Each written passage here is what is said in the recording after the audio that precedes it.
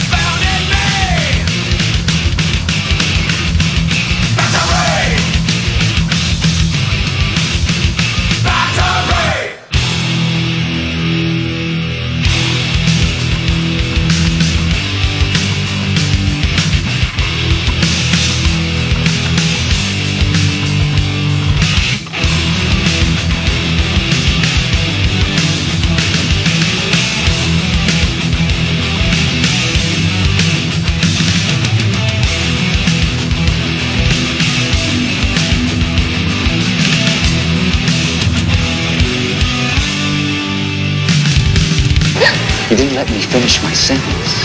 I said, I'm not gonna hurt you. I'm just gonna bash your brains.